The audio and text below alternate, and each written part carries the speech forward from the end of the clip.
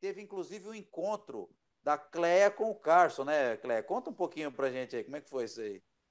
É, foi muito interessante, né? Porque é, é, em 2002, se não me engano, houve uma reportagem na Tatame onde ele dizia que tinha ganho de Ivan, né?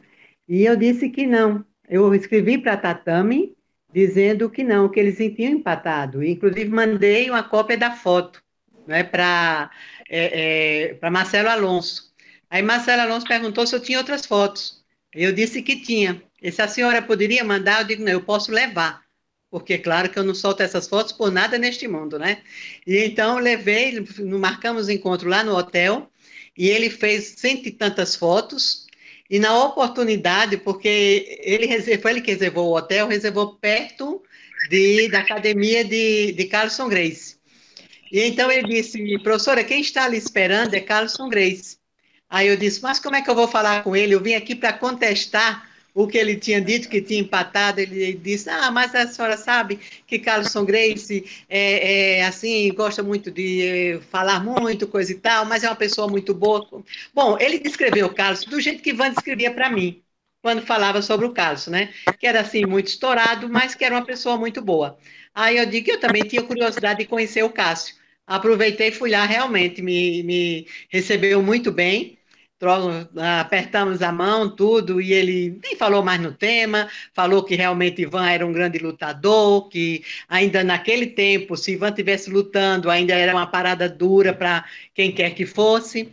E então ficamos, é, foi, foi muito bom ter conhecido o Carlos e ele realmente dá o testemunho do que ele pensava a respeito de Ivan e passou a relembrar muitas histórias da convivência deles e das coisas engraçadas que ele falava sobre, sobre Ivan, como, por exemplo, o medo que Ivan tinha de, de filmes que eram de, de assombração, essas coisas, Ivan nunca gostou realmente.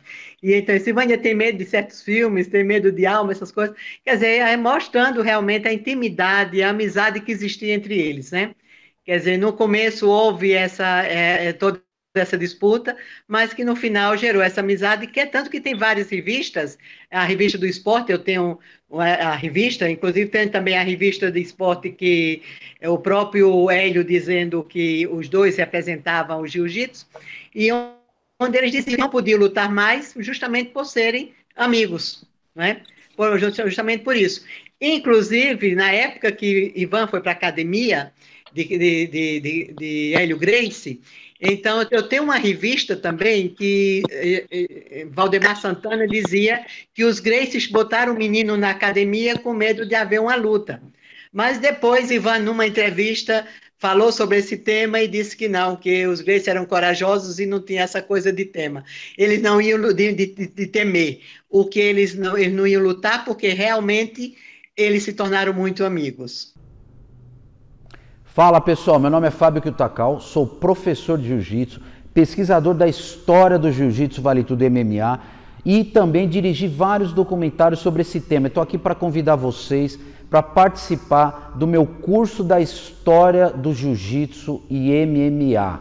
Você que é fã de artes marciais, é praticante e acha que é muito mais importante é, os aspectos filosóficos de transformação que a arte marcial pode trazer, esse curso é ideal para você. Entre em contato que eu tenho certeza que esse curso vai ajudar você a se transformar num artista marcial muito mais completo.